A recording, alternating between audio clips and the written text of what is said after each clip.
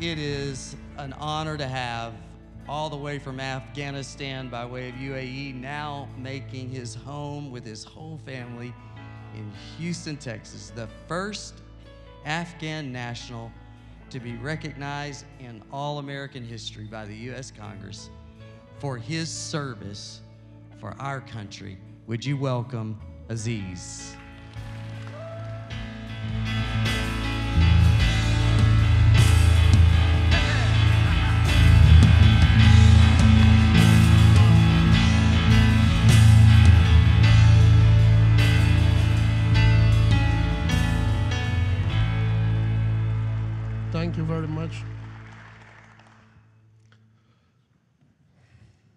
Thank you very much for your generous hospitality and welcoming Pastor Ron. It's an honor to be here. I really enjoyed the time. And thank you very much for giving me the opportunity to speak my testimony and my story to my brothers here since last day, uh, last evening to my brothers and sisters a few times. It's an honor. Thank you very much for everything. I have spoke about the uh, testimony and my stories, but uh, there is two things that I want to touch base that I, I didn't get a chance to speak it during my testimony. One, that when the capital was captured by the bad guys, do you realize how much I was scared? Like there are times in all of our lives that we get scared. I was, it's funny, you know, I'm standing over there, people are coming, shaking hands with me, taking pictures, and they think that how strong I am. I'm not strong. I'm same like you guys. I'm a, you know, regular human being. And when there's time to be scared, I am scared. I was scared. But uh, thank to the Lord and my brother Chad that reminded me who I was. This morning, that morning, that when my daughter came out of the door outside, she came in, my younger daughter, she cried and told me, Daddy, there's Taliban in our street. She's crying.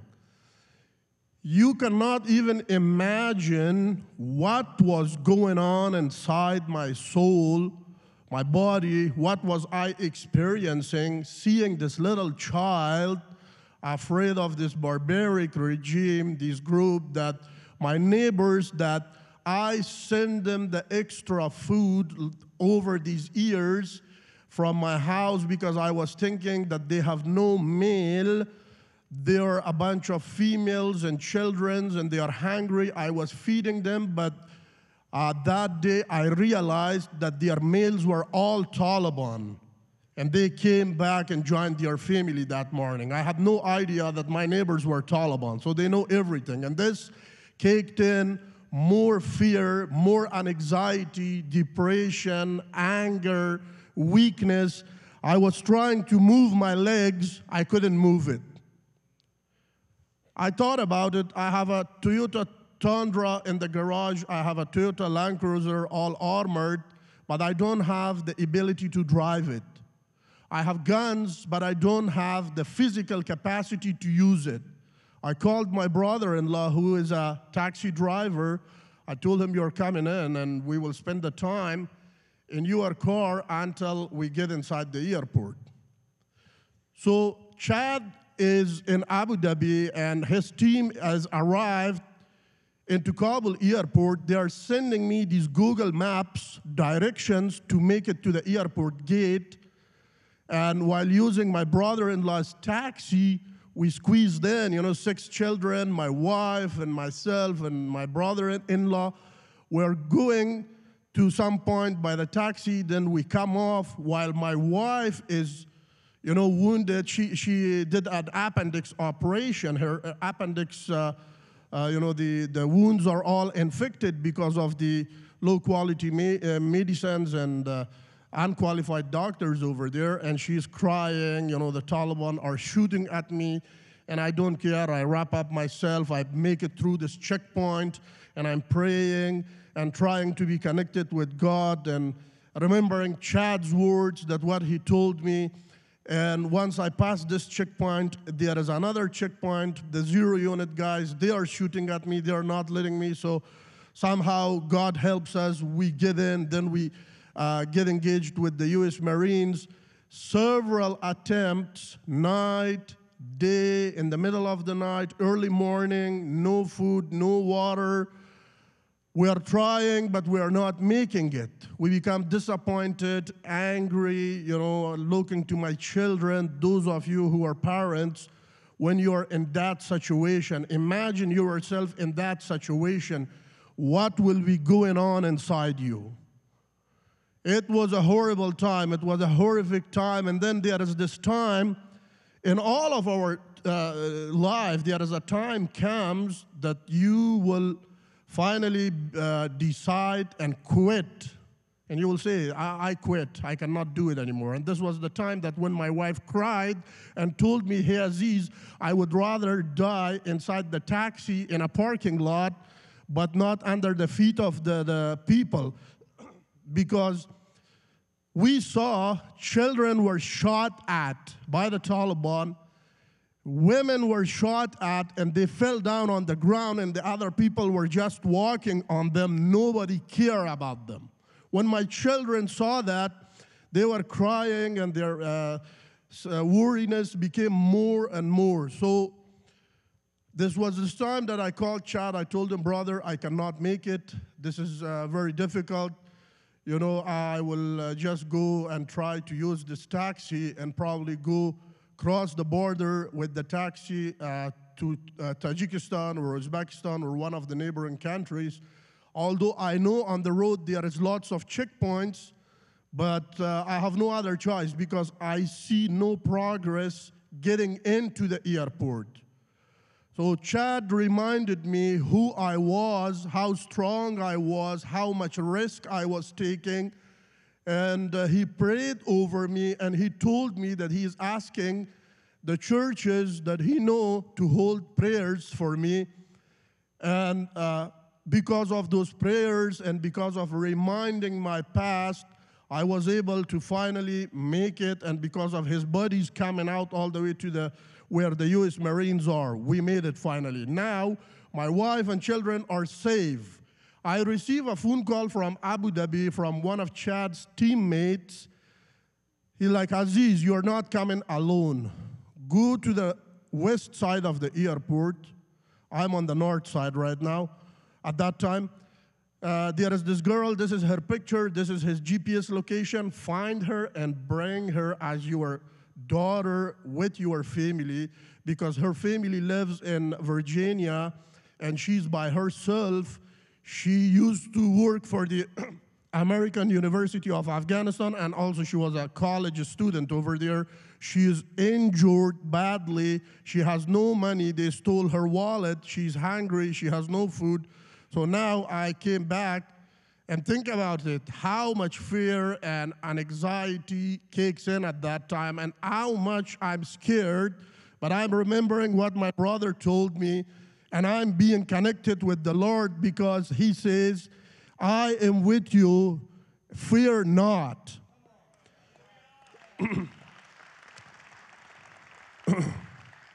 So I came back and my wife cried. She's like, Where are you going now? I'm like, You guys just follow the line because there's thousands of people following the line to the uh, CBP building. And uh, I had to come out and uh, go all drive, get another taxi and uh, drive another seven, eight kilometers, find this girl, bring her now again. Same thing. Taliban shot at me, the zero units and the Marines, and then after several hours, I was able to get in by the help of Chad's team after calling him, and he made uh, several phone calls until the guys came out back and saved us. So, uh, fear not, my brothers. I'm really proud of you guys that how much you guys care about each one, how much you guys love each one. America is America because of your sacrifices because of your hard work, your hard leadership, and your management. Each one of you since I came here that I see how much you guys have put into effort into this beautiful nation. I have learned a lot from you. I'm proud of you guys and I love you guys.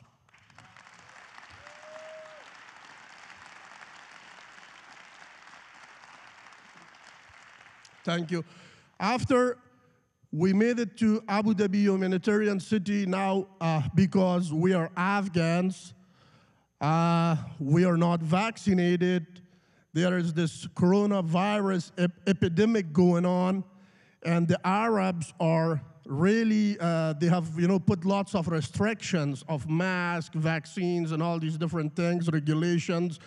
They put us inside these room Actually, the city that they call it the humanitarian city, at first this was not humanitarian city. That was made by the royal family for the coronavirus epidemic. They anticipated that if they have uh, patients from the uh, coronavirus epidemic, they will bring it into these different rooms. Like it was made, you had your own separate room, kitchen, and you know bathroom, and everything was separated. So uh, they kind of, uh, it was almost like a humanitarian prison they put us inside there. There's TV, food comes behind the door, and we are locked in lockups. We are not even allowed to come to the main uh, walkway, the hallway. So we're all sitting over there and you know just waiting and waiting. They're like, okay, at first they said 16 days of quarantine, then they extended it to one month. Then I called Chad and using Chad's name and his reputation and his, uh, my American uh, connections, I came outside. I told him, I cannot live here. I need to go out because there is no clear instructions. Only the U.S. consulate is there, and these thousands of uh, immigrants, while they are in these buildings, when the security comes, the soon as security opens the door, to call a few people to bring them for the purpose of pro processing at U.S. consulate, then everyone is elbowing each other, pushing each other, the same exact thing like they did it at Kabul airport. And uh, we were trying to kind of have like a discipline and tell them to that you are not in Kabul airport anymore. You got to have patience. Now you are in the safety. Let all the diplomats to do their work. So uh, I noticed that uh, they're not listening. Then I had, I had to walk in each building, knock each door. Like in each building, there is three floors. In each floor, there is more than 34, 36 rooms. In each room, there is more than like six, seven, eight uh, people. You know, Afghan families are bigger families. I knock on them, and all these people come in the corridor, and I talk to them. I told them, hey, guys, I need you guys to be patient and listen to me. We need to create communication channels because U.S. consulate is here, the NGOs are here, the medical team is here. So for each team, we need people and we need to use it like by block numbers and by patience, by discipline. If we do like this, like, you know, barbaric system, they will not be able to do their job. And uh, I assigned them like uh, floor leaders, uh, building leaders. Then in each cluster, there are six buildings. Floor leader reports to the building leader, building leader reports to the cluster leader, and cluster leader directly reports to me. And I reported to the US consulate, the Afghan embassy. I invited the Afghan ambassador over there. Now, most of these uh, Afghans that they are over there, because of the fear of the Taliban, they did not even have uh, their passports, IDs, or a marriage certificate, which is really needed for the formal process of uh, the, the visa to come here.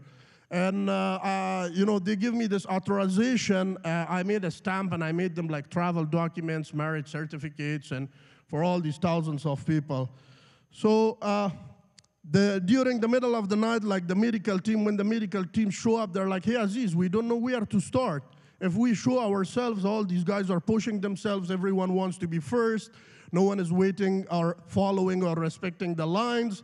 So, again, using all these team leaders, we were able to help all these thousands of people to process them in a manner uh, that you know help on one side the Afghans and help on one side the other officials to do their job. So why I'm telling this that there are challenges and risks coming in our life, there is several times that we as human beings will be faced with ups and downs. So the only thing that can help us at that time is our patience, our connection to our Lord, and being connected with Him, being praying, and being strong, being a man will only help to overcome those challenges and those difficulties. And I'm really, really proud of you guys, as I mentioned it before, and I have learned a lot from Chad and from my other American colleague, colleagues. Since I came here, I'm learning from all you guys a lot. I learned from Pastor Ron. Thank you very much for letting me to be here with you since yesterday. I really appreciate it.